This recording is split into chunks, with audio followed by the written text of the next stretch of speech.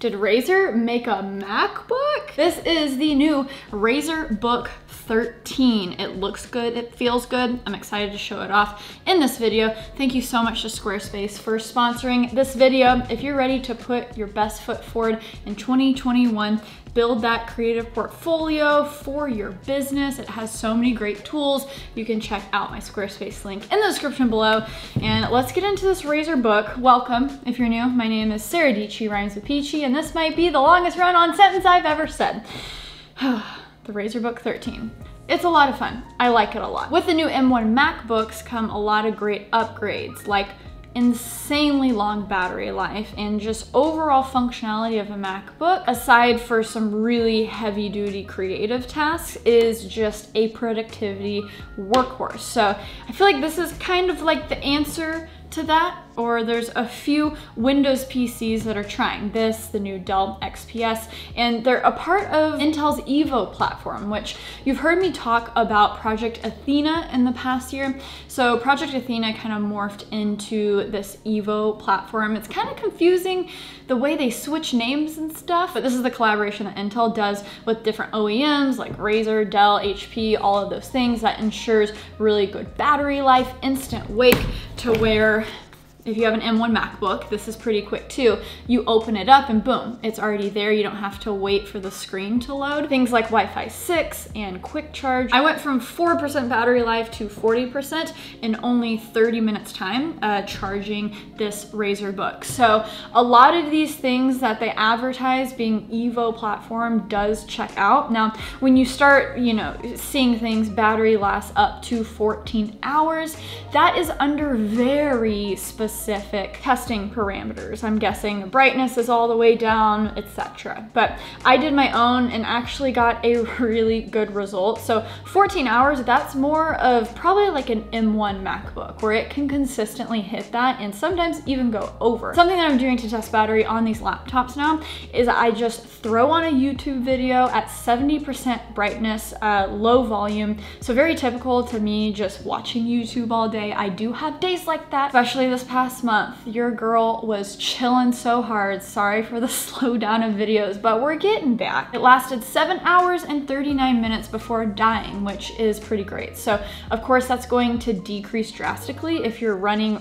really crazy uh, processor intensive programs, but in Chrome, YouTube, doing the usual thing. Um, I would almost call that like all day battery. I don't know. Are you guys working more than seven hours a day on your computer? Be honest. So the price of the Razer Book 13 starts at $11.99 and gets up to $19.99. That's the version of the laptop I have here. It's the latest Intel i7, the 11th gen, 16 gigabytes of RAM, 512 gigabytes of SSD, as well as a really nice display. It's a 4K 60 hertz display. It's decently bright, it looks great, and it's touchscreen.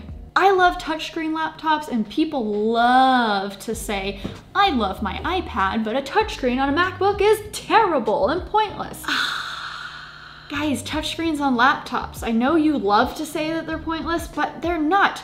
I have real life occurrences all the time. Just today, I was given a little presentation from a inspector who basically logged, you know, all the problems with this structure into his uh, presentation thing. And then he sat there and was like, yeah, so this clicked in and he scrolled and, you know, it was a nice little presentation he gave from his laptop. He was touching and it was great. And I was like, see, there are so many practical uses for this. I don't know why I'm ranting why touchscreens aren't pointless, but I just see it on Twitter all the time and now I'm gonna get off of the pedestal. Speaking of displays, I love that they did a 16 by 10 ratio. Uh, what MacBooks are, you get a little bit more of that vertical real estate for all of your productivity needs. And then again, one more time, we're gonna bring it back to the Razer Book 13, kind of comparing to the M1 MacBook 13 people initially were like, hey, woo, excited for M1. We don't have the option of 4K displays on MacBooks and still you have those thicker bezels on the side, on the top, on the bottom.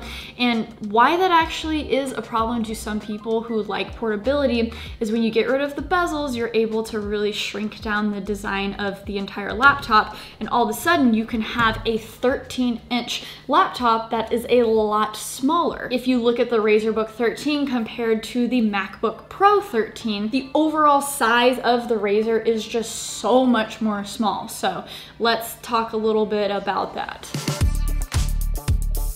Okay, I know a lot of y'all are video conferencing right now, Zoom and doing all the things. This is on Google Meets using the microphone from the Razer Book 13 as well as the video camera. So I am in front of windows right now, but the sun is going down. So it's a little dark, but I think this is a good practical test.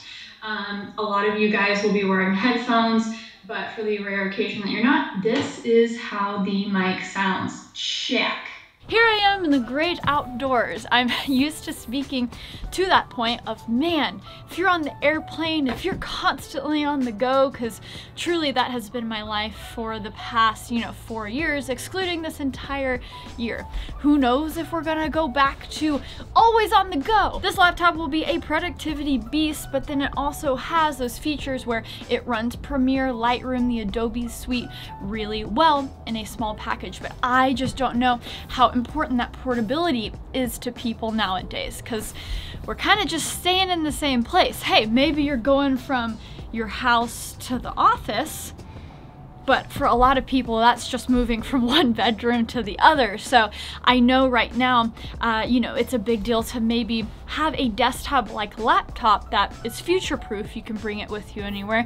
But, you know, more emphasis is on performance. Maybe you're upgrading your desktops right now. So, wow, what a beautiful device from Razer. Um, it's somehow like more Apple like than Apple. It's reminiscent of their old MacBooks. Remember the chunky 17 inch?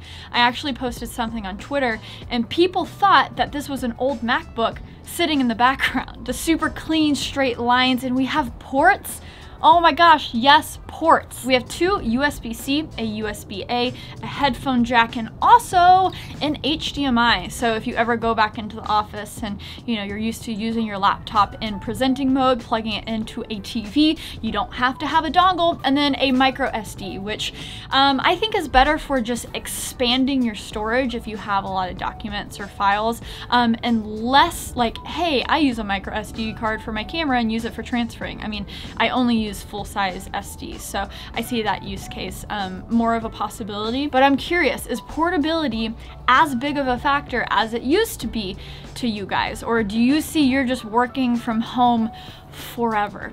Okay, so we know this is a good looking laptop, but let's talk about what really matters, and that's performance. So let's talk about performance uh, in terms of sheer battery life and just all around productivity. I guess it's going to now be hard to compete with the M1 MacBook Air and Pro as, you know, people are just getting like 24 hours of battery life with those laptops. A lot of people still think Windows-based laptops are just like terrible battery life. You only get an hour from them. Um, so remind you, they've gotten better, you know, if I can get over seven hours of just YouTube Chrome streaming, that's pretty good. But where the these still have an edge is one, they're Intel based, so they're going to run all of your programs normally. Ow, did you hear that? My knuckle hit the computer, okay. And this is a big thing for me. I, ow! Two in a row. All right, that was my knee. So to be able to download the Adobe Creative Cloud Suite like normal and run Premiere smoothly just the way I like it is huge. 17 inch, I actually posted something on Twitter and people thought that this was an old MacBook sitting background. The clean, the clean straight lines and stuff, the super clean, super clean straight lines and have ports. Oh my gosh, that's ports.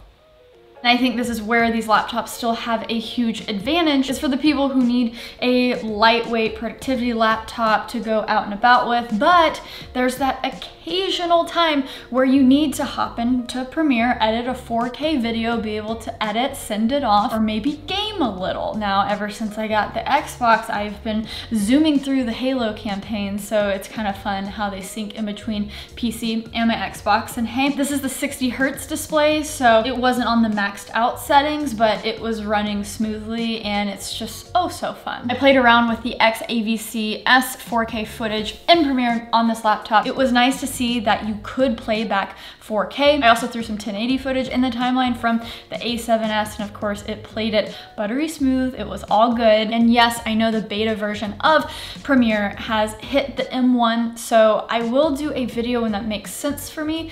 Uh, I hear the beta version still hasn't improved a ton. So when they have the full-fledged version out, when it's gone through its little quirks, of course, I'm gonna make an updated video about that. I promise, I promise guys. And I also did a 4K Premiere export test and I did 15 minutes of that 4K footage with music on the bottom, also with an adjustment layer on the top with Film Convert. That's what I use for color grading. And I just wanna get close to a real life video where you have effects and other stuff going on. So a 15 minute 4K YouTube video exported in 19 minutes and 53 seconds. And then when I took away the adjustment layer, uh, so no color grading at all, it exported at 14 minutes and 12 seconds. So it still exported less amount of time than the actual video, which is good. Like that's impressive. You know, this laptop doesn't have a dedicated GPU. It's just that i7 and then the Intel graphics in there. So on the sheer productivity side of things, you know, one can argue probably a very sound argument to go with a M1 MacBook.